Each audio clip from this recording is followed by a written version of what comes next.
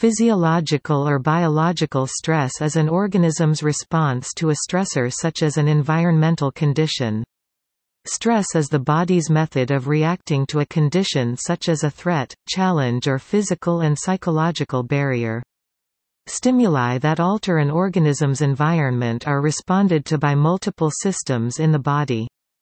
The autonomic nervous system and hypothalamic pituitary adrenal (HPA) axis are two major systems that respond to stress. The sympathoadrenal medullary (SAM) axis may activate the fight or flight response through the sympathetic nervous system, which dedicates energy to more relevant bodily systems to acute adaptation to stress, while the parasympathetic nervous system returns the body to homeostasis. The second major physiological stress, the HPA axis regulates the release of cortisol, which influences many bodily functions such as metabolic, psychological and immunological functions.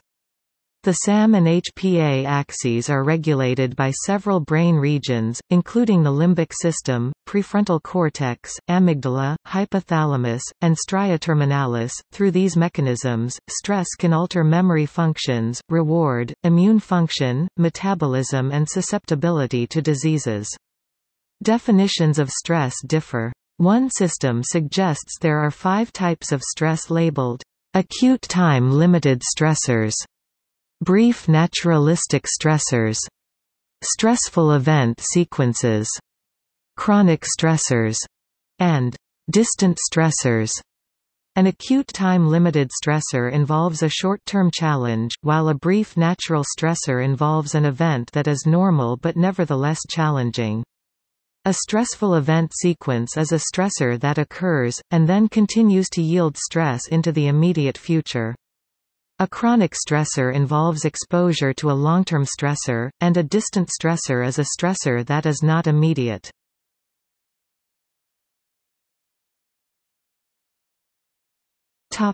Overview Stress and illness may have intersecting components. Several studies indicate such a link, while theories of the stress-illness link suggest that both acute and chronic stress can cause illness, and lead to changes in behavior and in physiology. Behavioral changes can include smoking, and changes in eating habits and physical activity. Physiological changes can include changes in sympathetic activation or HPA activity, and immunological function. However, there is much variability in the link between stress and illness. The HPA axis regulates many bodily functions, both behavioral and physiological, through the release of glucocorticoid hormones. The HPA axis activity varies according to the circadian rhythm, with a spike in the morning. The axis involves the release of corticotropin-releasing hormone and vasopressin from the hypothalamus which stimulates the pituitary to secrete ACTH. ACTH may then stimulate the adrenal glands to secrete cortisol. The HPA axis is subject to negative feedback regulation as well. The release of CRH and VP are regulated by descending glutaminergic and GABAergic pathways from the amygdala, as well as noradrenergic projections. Increased cortisol usually acts to increase blood glucose, blood pressure, and surpasses lysosomal, and immunological activity. Under other circumstances the activity may differ.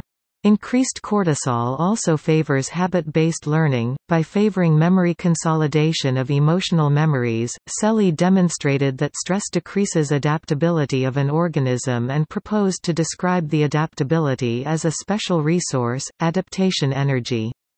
One study considered adaptation energy as an internal coordinate on the dominant path in the model of adaptation. Stress can make the individual more susceptible to physical illnesses like the common cold. Stressful events, such as job changes, may result in insomnia, impaired sleeping, and physical and psychological health complaints. Research indicates the type of stressor, whether it is acute or chronic, and individual characteristics such as age and physical well-being before the onset of the stressor can combine to determine the effect of stress on an individual. An individual's personality characteristics such as level of neuroticism, genetics, and childhood experiences with major stressors and traumas may also dictate their response to stressors.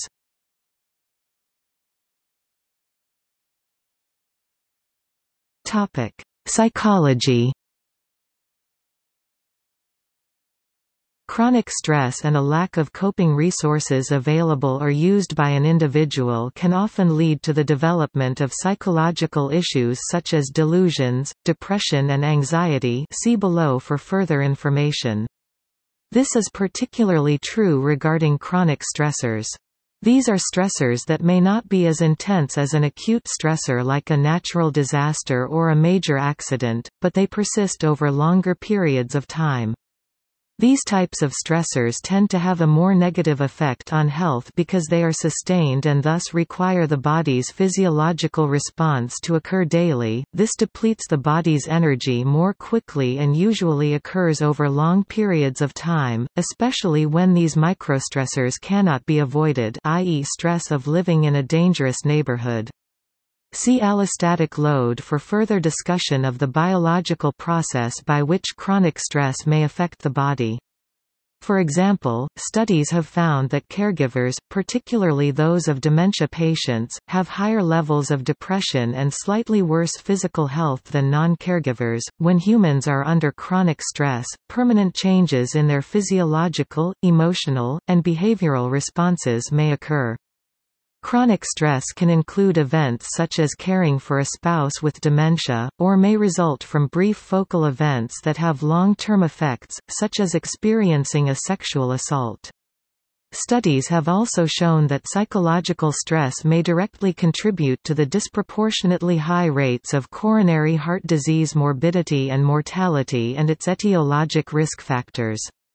Specifically, acute and chronic stress have been shown to raise serum lipids and are associated with clinical coronary events, however, it is possible for individuals to exhibit hardiness—a term referring to the ability to be both chronically stressed and healthy.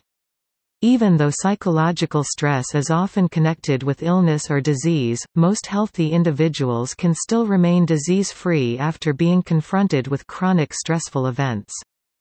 This suggests that there are individual differences in vulnerability to the potential pathogenic effects of stress. Individual differences in vulnerability arise due to both genetic and psychological factors. In addition, the age at which the stress is experienced can dictate its effect on health.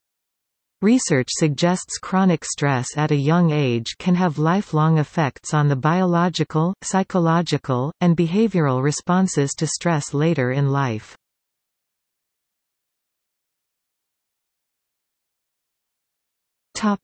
Etymology and historical usage The term, stress, had none of its contemporary connotations before the 1920s. It is a form of the Middle English distress, derived via Old French from the Latin stringere, to draw tight. The word had long been in use in physics to refer to the internal distribution of a force exerted on a material body, resulting in strain. In the 1920s and 30s, biological and psychological circles occasionally used the term to refer to a mental strain or to a harmful environmental agent that could cause illness. Walter Cannon used it in 1926 to refer to external factors that disrupted what he called homeostasis. But Stress as an explanation of lived experience is absent from both lay and expert life narratives before the 1930s. Physiological stress represents a wide range of physical responses that occur as a direct effect of a stressor causing an upset in the homeostasis of the body. Upon immediate disruption of either psychological or physical equilibrium the body responds by stimulating the nervous, endocrine, and immune systems. The reaction of these systems causes a number of physical changes that have both short and long-term effects on the body. The Holmes and Rahe stress scale was developed as a method of assessing the risk of disease from life changes. The scale lists both positive and negative changes that elicit stress. These include things such as a major holiday or marriage, or death of a spouse and firing from a job.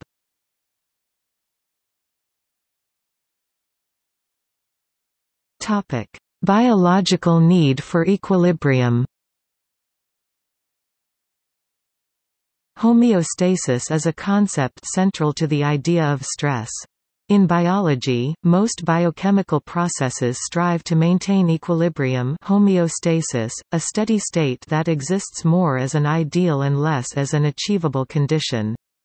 Environmental factors, internal or external stimuli, continually disrupt homeostasis. An organism's present condition is a state of constant flux moving about a homeostatic point that is that organism's optimal condition for living. Factors causing an organism's condition to diverge too far from homeostasis can be experienced as stress. A life-threatening situation such as a major physical trauma or prolonged starvation can greatly disrupt homeostasis. On the other hand, an organism's attempt at restoring conditions back to or near homeostasis, often consuming energy and natural resources, can also be interpreted as stress. The ambiguity in defining this phenomenon was first recognized by Hans Selye (1907–1982) in 1926. In 1951 a commentator loosely summarized Selye's view of stress as something that less than pre greater than slash pre greater than dot dot dot in addition to being itself, was also the cause of itself, and the result of itself. First to use the term in a biological context, Selye continued to define stress as the non-specific response of the body to any demand placed upon it. As of 2011 neuroscientists such as Bruce McEwen and Jaap Koolhaas believe that stress, based on years of empirical research, should be restricted to conditions where an environmental demand exceeds the natural regulatory capacity of an organism.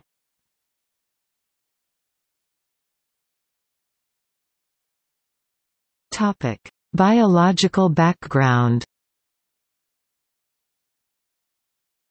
Stress can have many profound effects on the human biological systems.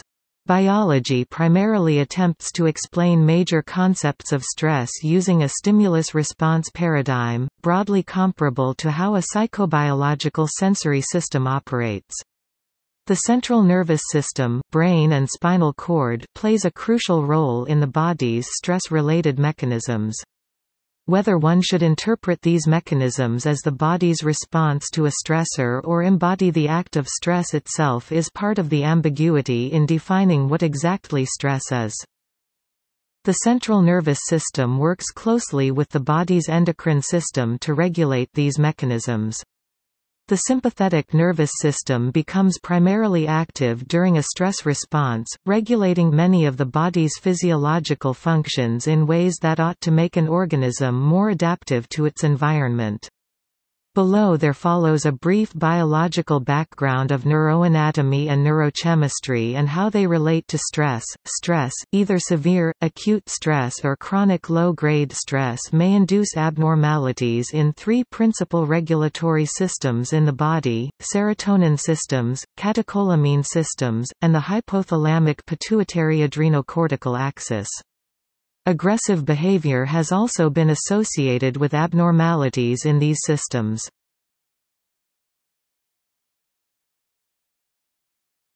Topic: Biology of stress.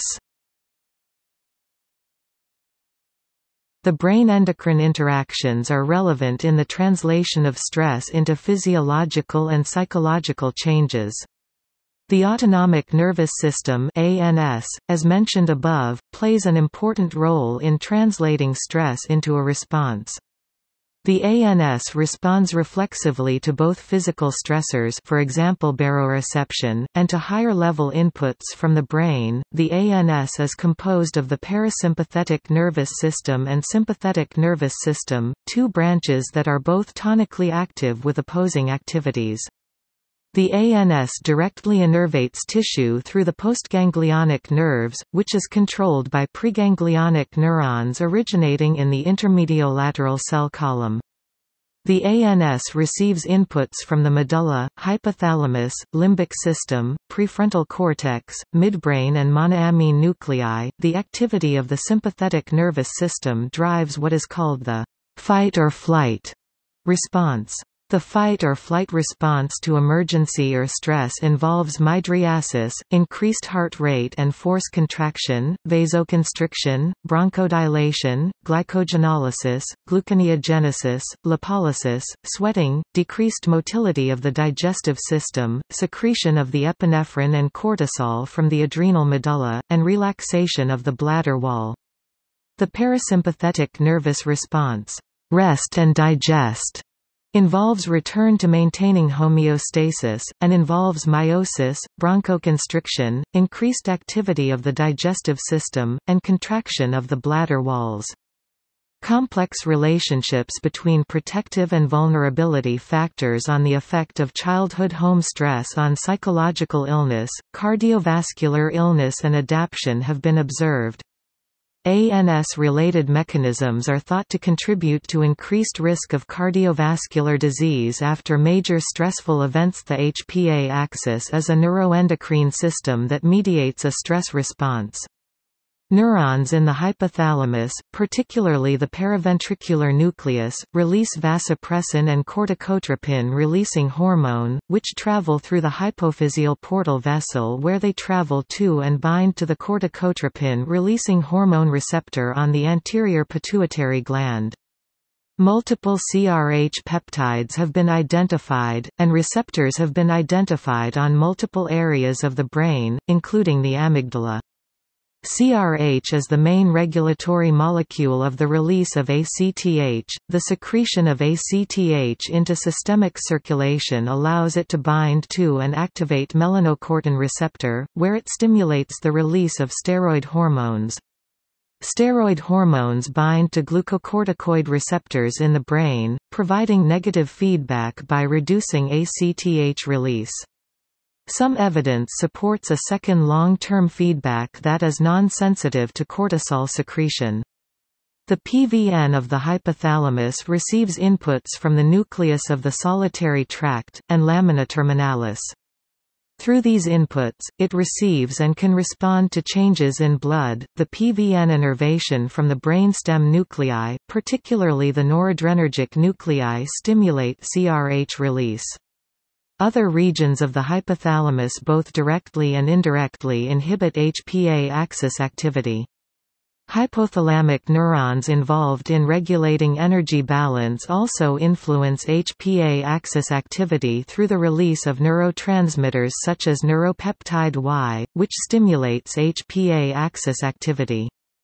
Generally, the amygdala stimulates, and the prefrontal cortex and hippocampus attenuate, HPA axis activity. However, complex relationships do exist between the regions. The immune system may be heavily influenced by stress.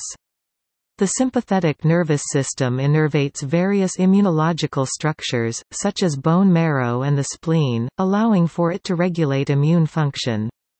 The adrenergic substances released by the sympathetic nervous system can also bind to and influence various immunological cells, further providing a connection between the systems. The HPA axis ultimately results in the release of cortisol, which generally has immunosuppressive effects. However, the effect of stress on the immune system is disputed, and various models have been proposed in an attempt to account for both the supposedly Immunodeficiency linked diseases and diseases involving hyperactivation of the immune system. One model proposed to account for this suggests a push towards an imbalance of cellular immunity Th1 and humoral immunity Th2. The proposed imbalance involved hyperactivity of the Th2 system leading to some forms of immune hypersensitivity, while also increasing risk of some illnesses associated with decreased immune system function, such as infection and cancer.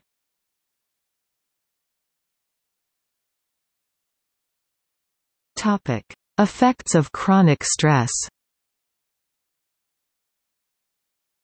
Chronic stress is a term sometimes used to differentiate it from acute stress.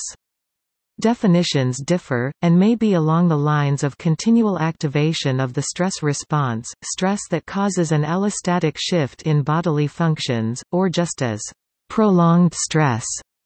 For example, results of one study demonstrated that individuals who reported relationship conflict lasting one month or longer have a greater risk of developing illness and show slower wound healing. Similarly, the effects that acute stressors have on the immune system may be increased when there is perceived stress and or anxiety due to other events. For example, students who are taking exams show weaker immune responses if they also report stress due to daily hassles. While responses to acute stressors typically do not impose a health burden on young, healthy individuals, chronic stress in older or unhealthy individuals may have long-term effects that are detrimental to health.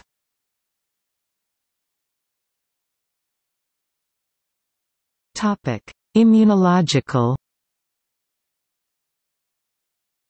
Acute time-limited stressors, or stressors that lasted less than two hours, results in an upregulation of natural immunity and downregulation of specific immunity.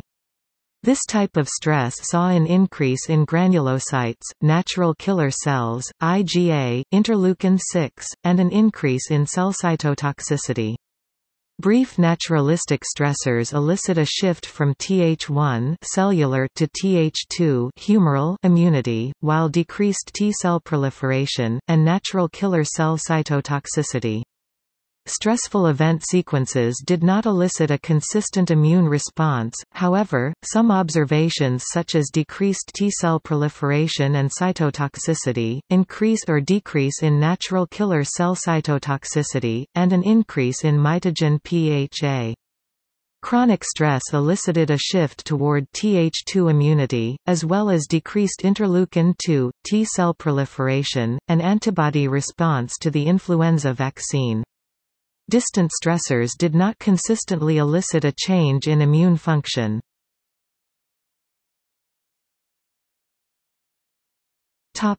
Infectious Some studies have observed increased risk of upper respiratory tract infection during chronic life stress. In patients with HIV, increased life stress and cortisol was associated with poorer progression of HIV.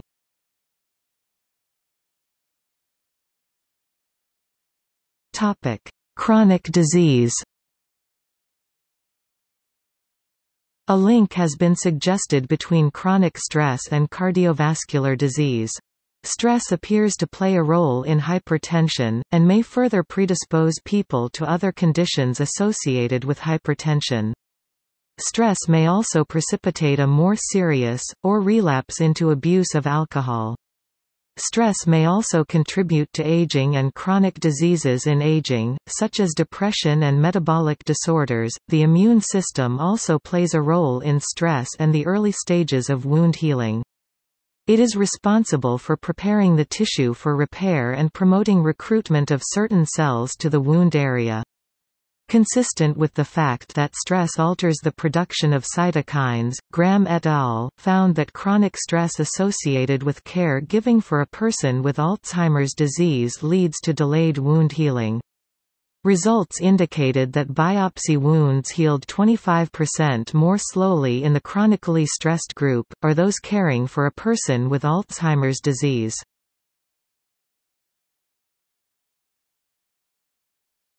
Topic: Development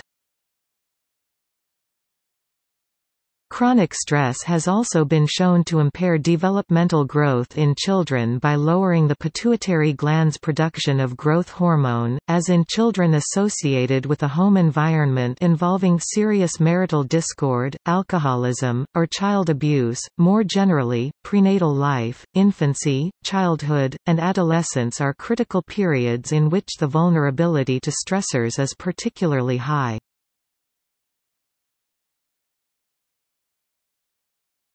Topic: Psychopathology Chronic stress is seen to affect the parts of the brain where memories are processed through and stored.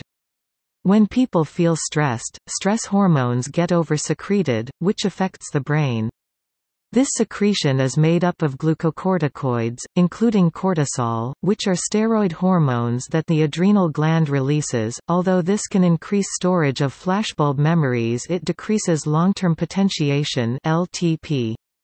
The hippocampus is important in the brain for storing certain kinds of memories and damage to the hippocampus can cause trouble in storing new memories but old memories, memories stored before the damage, are not lost.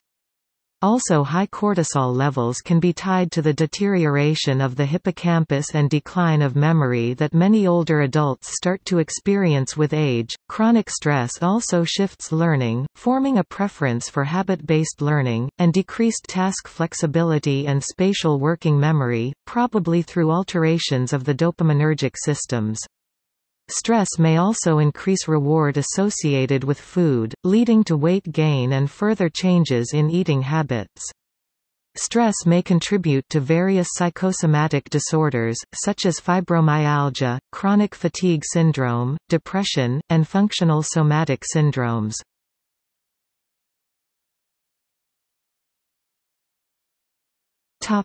Psychological concepts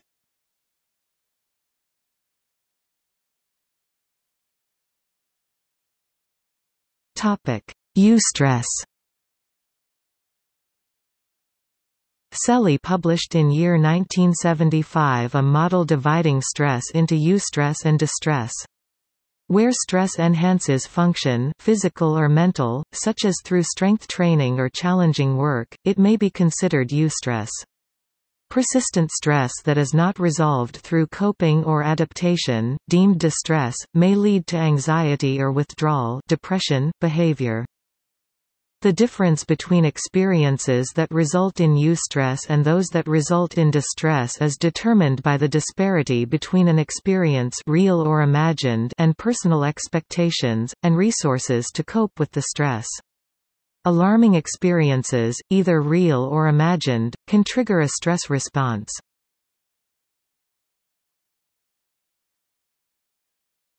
Topic: Coping. Responses to stress include adaptation, psychological coping such as stress management, anxiety, and depression. Over the long term, distress can lead to diminished health and or increased propensity to illness. To avoid this, stress must be managed.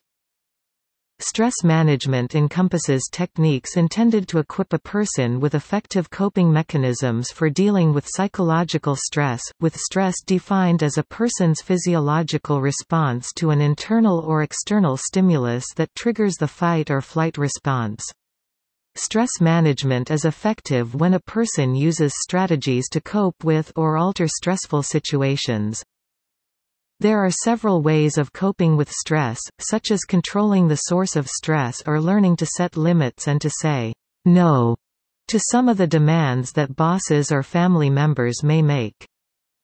A person's capacity to tolerate the source of stress may be increased by thinking about another topic such as a hobby, listening to music, or spending time in a wilderness.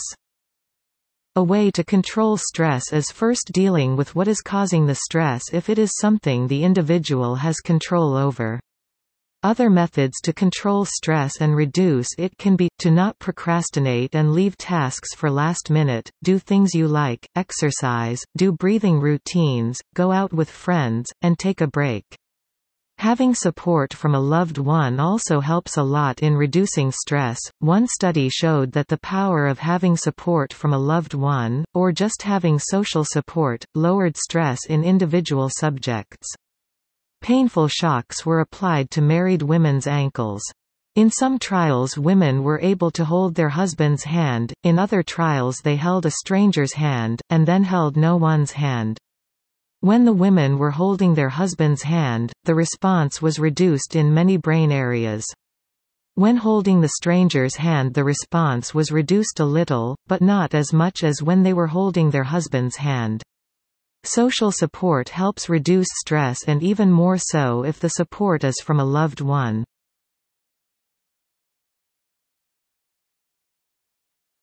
Topic: Cognitive appraisal.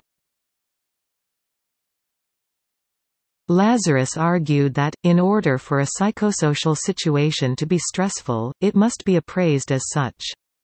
He argued that cognitive processes of appraisal are central in determining whether a situation is potentially threatening, constitutes a harm, loss or a challenge, or is benign.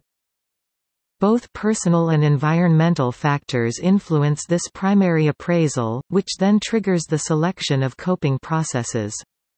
Problem-focused coping is directed at managing the problem, whereas emotion-focused coping processes are directed at managing the negative emotions. Secondary appraisal refers to the evaluation of the resources available to cope with the problem, and may alter the primary appraisal. In other words, primary appraisal includes the perception of how stressful the problem is and the secondary appraisal of estimating whether one has more than or less than adequate resources to deal with the problem that affects the overall appraisal of stressfulness. Further, coping is flexible in that, in general, the individual examines the effectiveness of the coping on the situation. If it is not having the desired effect, s, he will, in general, try different strategies.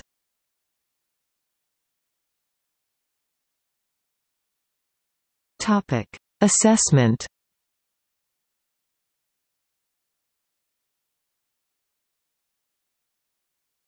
Topic: Assessment.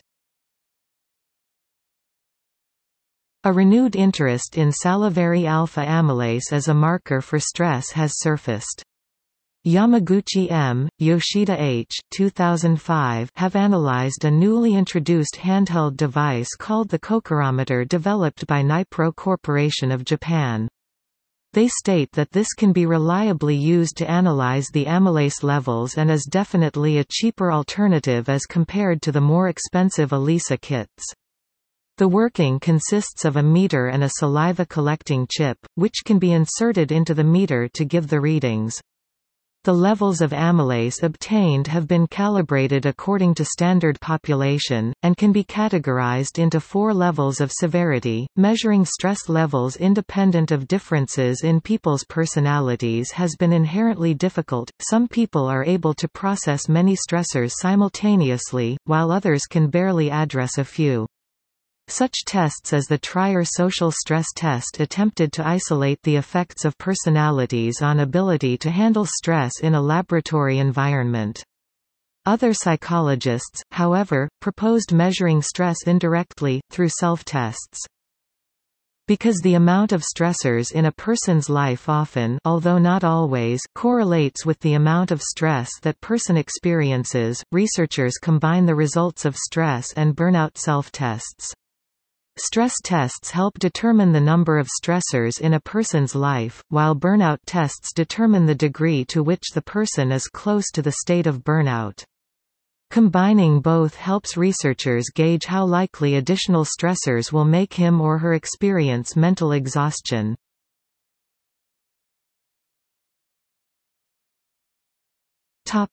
Health risk factors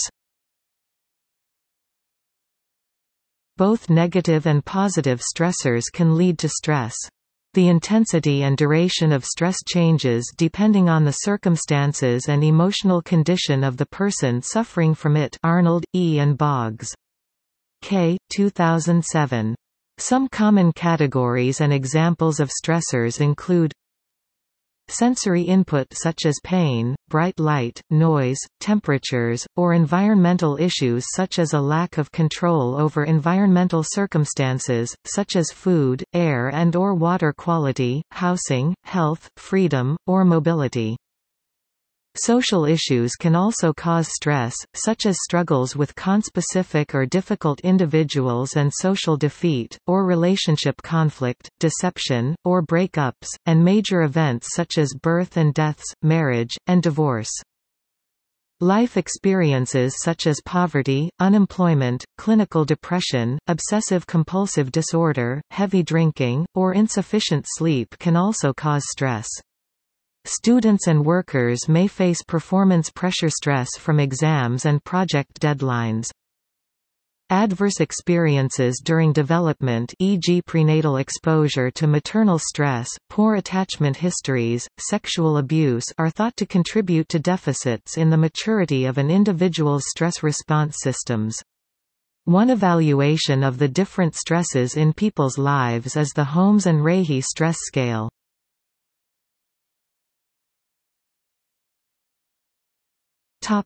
General adaptation syndrome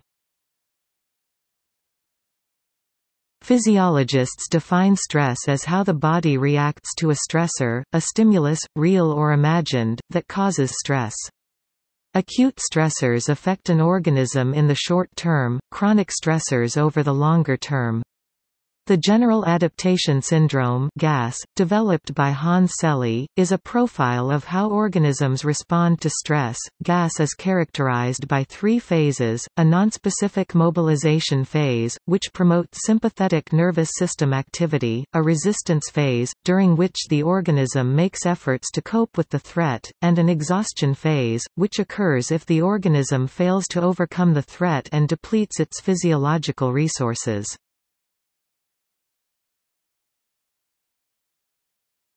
Topic: Stage 1 Alarm is the first stage, which is divided into two phases, the shock phase and the anti-shock phase.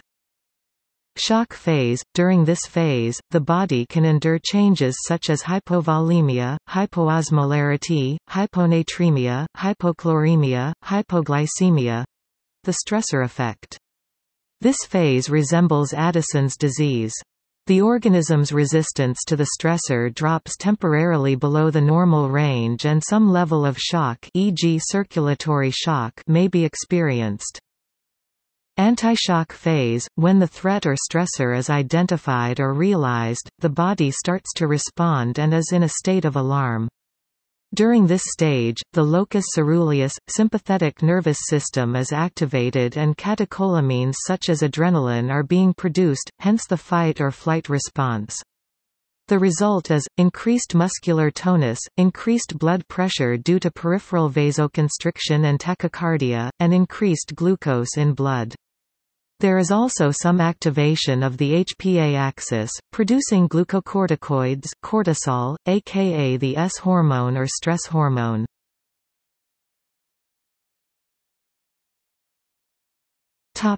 Stage 2 Resistance is the second stage and increased secretion of glucocorticoids play a major role, intensifying the systemic response, they have lipolytic, catabolic and antianabolic effects, increased glucose, fat and amino acid, protein concentration in blood. Moreover, they cause lymphocytopenia, eosinopenia, neutrophilia and polycythemia. In high doses, cortisol begins to act as a mineralocorticoid aldosterone and brings the body to a state similar to hyperaldosteronism. If the stressor persists, it becomes necessary to attempt some means of coping with the stress. Although the body begins to try to adapt to the strains or demands of the environment, the body cannot keep this up indefinitely, so its resources are gradually depleted.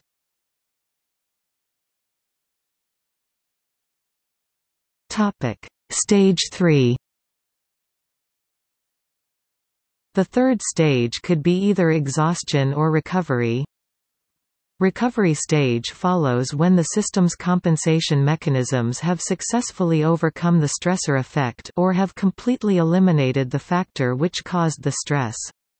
The high glucose, fat and amino acid levels in blood prove useful for anabolic reactions, restoration of homeostasis and regeneration of cells. Exhaustion is the alternative third stage in the gas model. At this point, all of the body's resources are eventually depleted and the body is unable to maintain normal function. The initial autonomic nervous system symptoms may reappear sweating, raised heart rate, etc. If stage 3 is extended, long-term damage may result prolonged vasoconstriction results in ischemia which in turn leads to cell necrosis, as the body's immune system becomes exhausted, and bodily functions become impaired, resulting in decompensation. The result can manifest itself in obvious illnesses, such as general trouble with the digestive system e.g. occult bleeding, melena, constipation, obstipation, diabetes, or even cardio cardiovascular problems angina pectoris, along with clinical depression and other mental illnesses.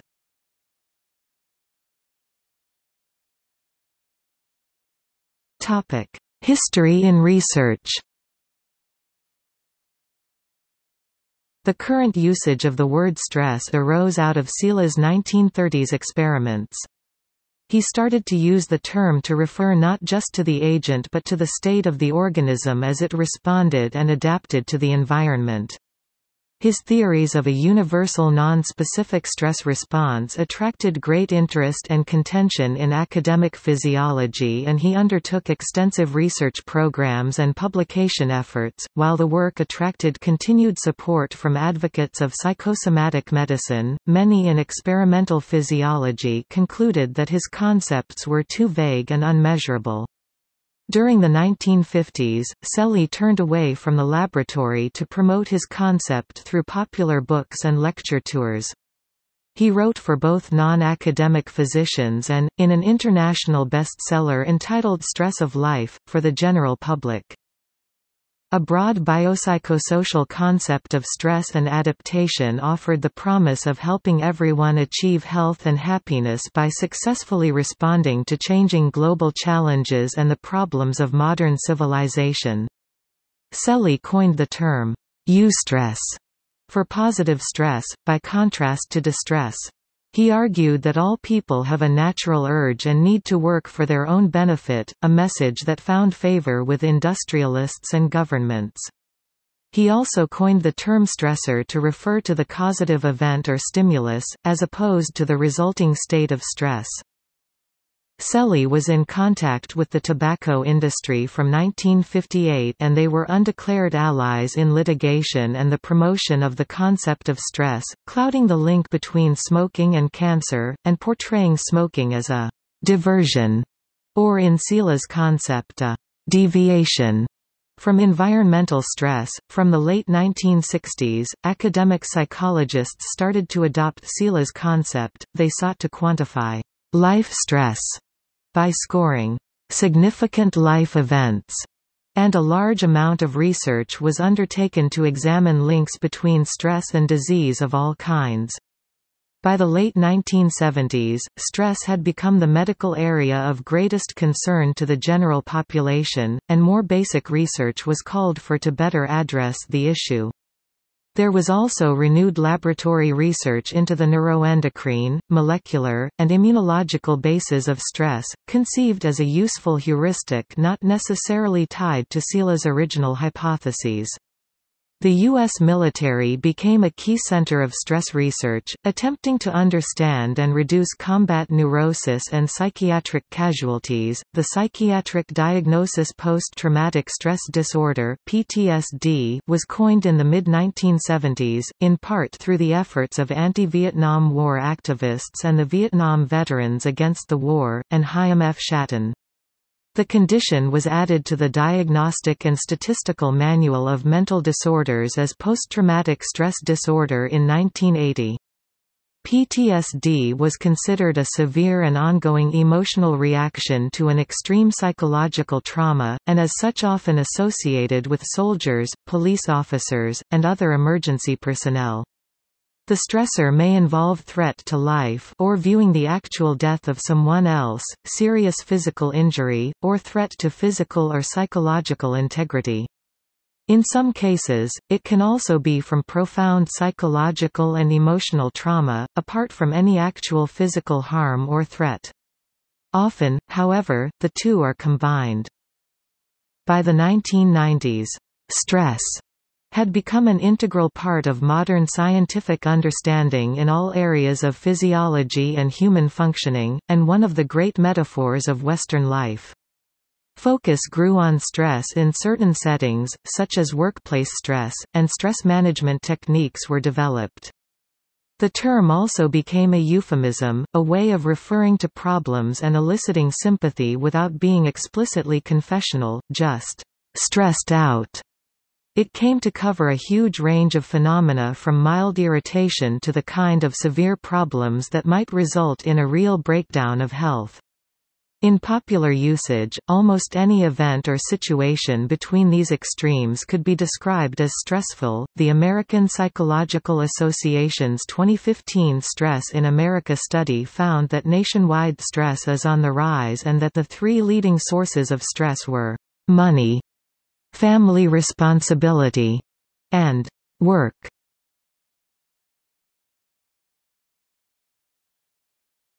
Topic See also